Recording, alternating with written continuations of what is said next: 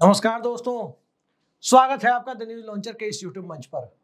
दोस्तों, क्या बिहार के मुख्यमंत्री नीतीश कुमार को राजनीतिक तौर पर अपने लोगों ने ही घेरने की प्लानिंग कर ली है? और बिहार में नीतीश कुमार की राजनीति को परखने के लिए, नीतीश कुमार को एनडीए गठबंधन के अंदर कमज़ोर करने के लिए क्या कुछ लोग लग गए हैं? कई सारे मामले हैं। पहला मामला ये कि नीतीश कुमार बिहार विधानसभा भंग करना चाहते हैं कभी कोई ना कोई पेज फंसा दिया जाता है। कभी कहा जाता है, लोकसभा के साथ छोड़ दीजिए, महाराष्ट्र के साथ करा लीजिएगा। और जब आगे लोकसभा चुनाव संपन्न होता है तो फिर एक विधानसभा सीट का नोटिफिकेशन निकाल दिया जाता है। जबकि पाँच सीटें खाली हुई है।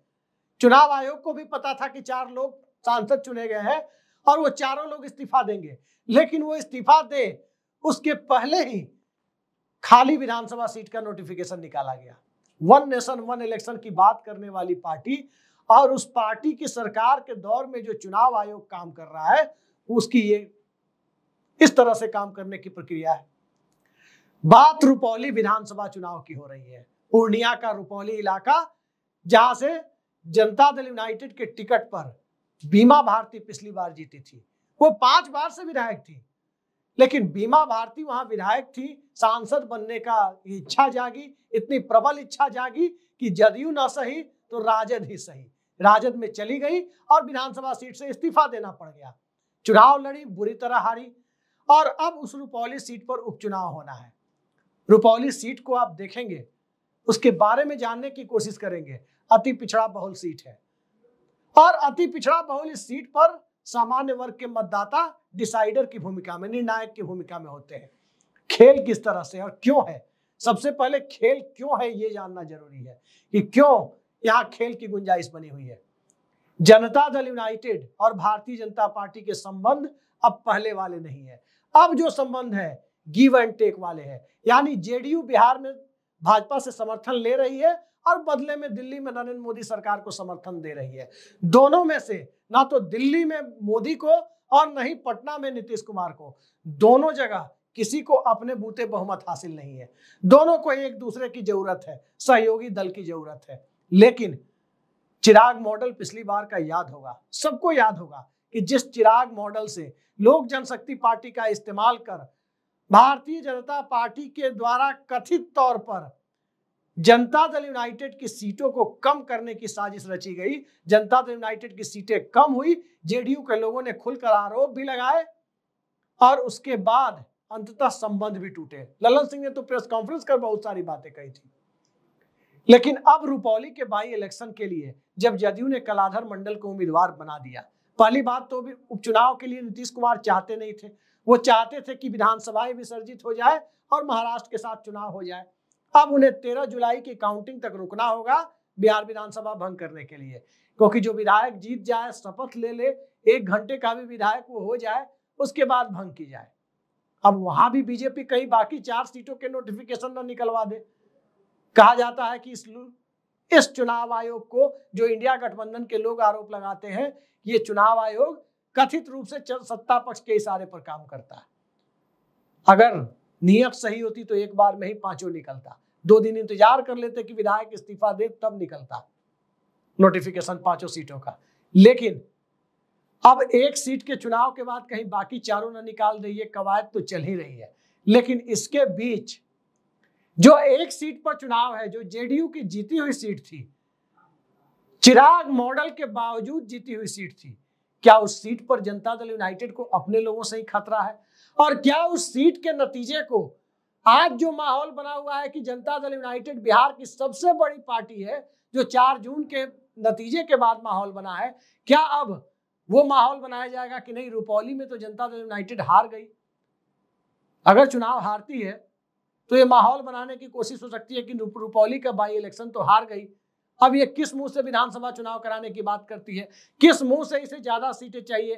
किस मुँह से गठबंधन में बड़ा भाई जेडीयू खुद को मानती है? इस कवायद को समझने के लिए कई सारी चीज़ें हैं जिसे समझने की ज़रूरत है। एक एक कर मैं आपको बताता हूँ। पहली बात, जेडीयू ने कलाधर मंडल को अपना उम्मीदवार बना दिया। और उसके बाद, पिछली बार जिस, जो इस सीट पर जो महागठबंधन था, जो आज का इंडिया गठबंधन है, राजद कांग्रेस का गठबंधन, वामपंथियों का गठबंधन, उस गठबंधन से यह सीट सीपीआई को दी गई थी, भारतीय कम्युनिस्ट पार्टी को।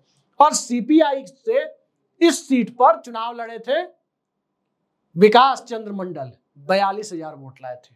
अच्छा खासा वोट लाए थे। इस बार सीपीआई ने विकास चंद्र मंडल को फिर से कैंडिडेट डिक्लेयर कर दिया और राष्ट्रीय जनता दल इस उहापोह में है कि यहाँ चुनाव लड़े या ना लड़े। अगर बीमा भारती को या उनके पति अवधेश मंडल को चुनाव लड़ाया जाता है तो एक बात करीब करीब तय है कि कहीं ना कहीं जनता दल यूनाइटेड को राष्ट्रीय जनता दल यहाँ मदद करती हुई दिख रही है, क्योंकि जो एनडीए विरोधी मतों का बंटवारा होगा, वो राजद और सीपीआई के बीच में होगा। तीसरी चीज़ कि अगर बीमा भारती को या उनके पति को टिकट नहीं दिया राजद ने, गठबंधन धर्म और इंडिया गठबंधन के, गठबंधन धर्म का पालन करते हुए सीपीआई के कैंडिडेट को, जो पिछली बार बयालीस हज़ार वोट लाकर हारे थे, उन्हीं का समर्थन कर दिया, तब जनता दल यूनाइटेड की दुश्वारियाँ और बढ़नी है। और इन सबसे आगे जाकर देखिए तो उस इलाके में एक प्रभावशाली नेता है, लोक जनशक्ति पार्टी में थे। शंकर सिंह। अब आज की तारीख में कोई चिराग मॉडल रुपौली में तो हो नहीं सकता, क्योंकि नरेंद्र मोदी सरकार का ऑक्सीजन नीतीश कुमार के 12 सांसदों और चंद्रबाबू नायडू के 16 सांसदों पर है। किसी सहयोगी दल के साथ चिराग मॉडल जैसी गुंजाइश तो फ़िलहाल दिखती नहीं है। तो जब वो हालात नहीं है तो स्वाभाविक है कि शंकर सिंह को चुनाव लड़ने के लिए लोक जनशक्ति पार्टी एनडीए में रहते हुए, चिराग पासवान एनडीए में रहते हुए टिकट दे नहीं सकते थे। लिहाजा शंकर सिंह ने निर्दलीय चुनाव लड़ने का ऐलान किया है। लोक जनशक्ति पार्टी से लोजपा से इस्तीफा भी दे दिया है। अब उसके बारे में कई तरह की खबरें हैं कि क्या वो लोक जनशक्ति पार्टी के नेतृत्व के साथ किसी सहमति से दिया गया इस्तीफा है? या वाकई उनकी चुनाव लड़ने की इच्छा है, इस वजह से इस्तीफा दिया है? पहली बार जिस विधानसभा का कार्यकाल यदि चुनकर के भी कोई विधायक आए तो चौदह पंद्रह महीने रहेगा, यदि यह विधानसभा पूर्ण कार्यकाल तक जाए तो। और उसके बाद यदि नीतीश कुमार बीच में विधानसभा भंग कर दे तो पाँच, दस दिन या एक महीने का विधायक बनने के लिए कोई पार्टी छोड़ करके, और उस तरह के विधायक बनने की मंशा पालकर उपचुनाव में उतरेगा नहीं। तो एक सवाल ये उठ रहा है कि आखिर शंकर सिंह ने इस्तीफा देकर चुनाव लड़ने का जो फैसला किया है, उसके पीछे कहीं कोई राजनीतिक ताकत तो नहीं है? कई सारे सवाल है। पप्पू यादव का मुकाबला करने के लिए बीमा भारती गई थी। और कहा जा रहा है कि वहाँ भी एक निर्दलीय को चुनाव जिताकर पप्पू यादव वाला खेल हो सकता है। पूर्णिया लोकसभा में ही रुपौली विधानसभा है। नतीजा कुछ भी हो, जनता दल यूनाइटेड जीत गई तो ये तय मानिए कि जनता दल यूनाइटेड ने लोकसभा चुनाव में जो परफॉर्म किया, उसकी बार्गेनिंग पावर अगले विधानसभा चुनाव में, जो चाहे चार महीने बाद हो या चाहे सोलह महीने बाद हो जब भी वो विधानसभा चुनाव हो, उसमें जनता दल यूनाइटेड की बार्गेनिंग पावर एनडीए के अंदर बढ़ी रहेगी। स्वाभाविक है, नीतीश कुमार ने जिस प्रकार का प्रदर्शन इस दौर में जब सीटें हर राज्य में घट रही थी, वहाँ बिहार में सबसे बेहतरीन प्रदर्शन, चाहे लोकसभा का हो या विधानसभा वार भी नतीजे को देखें तो बेहतरीन प्रदर्शन इस लोकसभा चुनाव में किया है। उससे साफ़ ज़ाहिर होता है कि रुपौली के बाई इलेक्शन में अगर मामला गड़बड़ाया तो नीतीश कुमार की बार्गेनिंग पावर घटी। या घटाने की कोशिशें शुरू हो जाएँगी। और अगर मामला नीतीश कुमार के पक्ष में गया, कलाधर मंडल उपचुनाव जीत करके पटना पहुँच गए तो चाहे क्या भाजपा, क्या लोजपा, या क्या कोई और पार्टी, सबके ऊपर यह दबाव होगा कि जो नीतीश कुमार कह रहे हैं, वो करना ही पड़ेगा, अन्यथा बिहार की राजनीति में कोई गुंजाइश नहीं है। नीतीश कुमार कमज़ोर कैसे पड़े थे? विधानसभा का नतीजा और चिराग मॉडल सभी जानते हैं कमज़ोर पड़े थे। लेकिन एनडीए के अंदर उनको कमज़ोर करने की कवायद को हवा कब मिली? जब कब मान लिया गया कि नहीं, चिराग मॉडल के बाद वाकई नीतीश कुमार और जेडीयू, उनकी पार्टी करीब करीब खत्म सी हो चली है तो वो मुजफ्फरपुर ज़िले का कुढ़नी विधानसभा उपचुनाव था। जनता दल यूनाइटेड लड़ी और जनता दल यूनाइटेड को वहाँ पर चुनाव में हार मिली थी।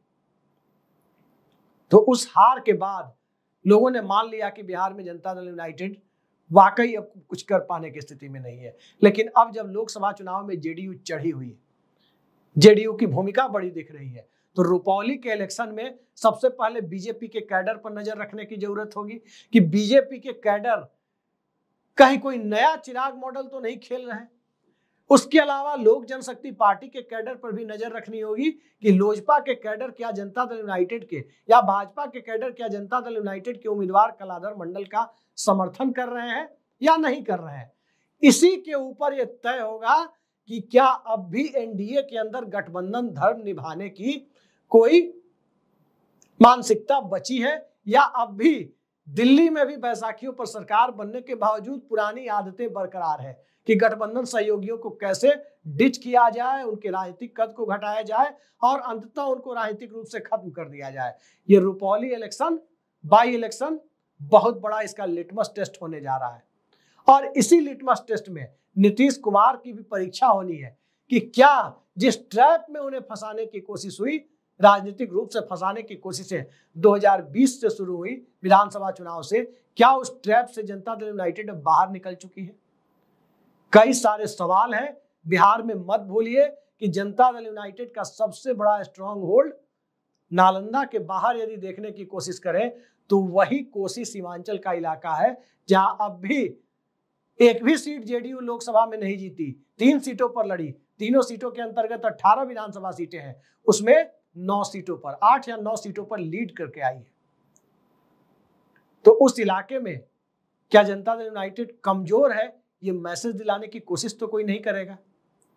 राष्ट्रीय जनता दल की स्थिति यह है कि अगर नीतीश कुमार रुपौली सीट जीत करके आते हैं तो राष्ट्रीय जनता दल नीतीश कुमार के किसी भी शर्त के साथ भविष्य में समझौते का द्वार खोल देगा।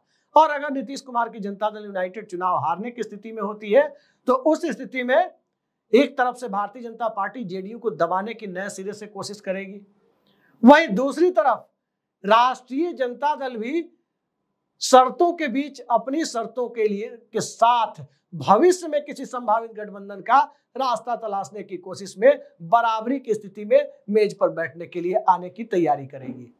यही है नीतीश कुमार की पार्टी के लिए रुपौली उपचुनाव का महत्व। तो देखते जाइए रुपौली में क्या होता है। जेडीयू ने नॉमिनेशन फ़ाइल कर दिया है। जेडीयू कैंडिडेट ने सीपीआई वाले फ़ाइल करने वाले हैं और राष्ट्रीय जनता दल अब तक कैंडिडेट बनाए या गठबंधन धर्म के तहत सीपीआई को ही समर्थन दे या अपने, अपना कोई उम्मीदवार उतारे, इस उहापोह में अंतिम सूचना मिलने तक फंसा हुआ है। शायद हो सकता है कि बीमा भारती या उनके पति अवधेश मंडल को टिकट दे भी दिया जाए, लेकिन जब तक फाइनल नहीं हो जाता, कुछ कहा नहीं जा सकता। आज के लिए इतना ही। नमस्कार।